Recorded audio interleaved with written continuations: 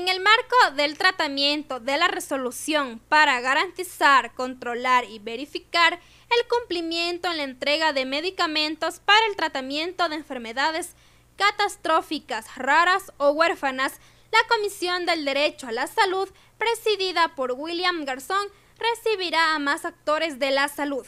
Este miércoles 16 de septiembre, a partir de las 8 de la mañana, en la sesión ordinaria número 100, por pedido del asambleísta Rosa Verde Soto, escuchará los comentarios y aportes de la presidenta de la Fundación Ecuatoriana Pro Transplante, Alexandra Jaramillo, y del director ejecutivo de la Sociedad de Lucha contra el Cáncer, Solca Núcleo Tunguragua, Marcelo Mejía Morales. Los planteamientos expuestos hasta el momento en la mesa están encaminados a una provisión oportuna y de calidad, adquisición diferenciada,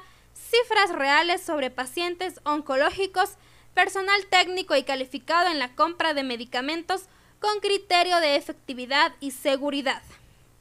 Uno de los requerimientos del documento resolutivo aprobado por el Pleno de la Asamblea el pasado 13 de agosto es que los legisladores brinden la apertura para tomar las decisiones necesarias con respecto a la necesidad de modificar el sistema de cuadro básico de medicamentos y su aplicabilidad en el tratamiento de enfermedades raras, huérfanas o catastróficas. Fuente Asamblea Nacional.